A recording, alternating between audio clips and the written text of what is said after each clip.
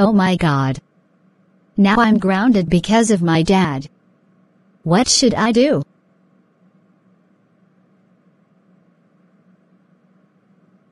I know what I should do. I'm going to pour lava on the couch. So that way, I will desire for that kind of plan.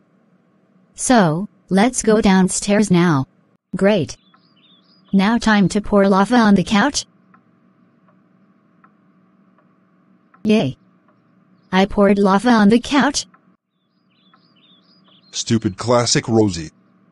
How dare you pour lava on the couch? That's it. You are grounded for 13,886 months. Go to your room right now.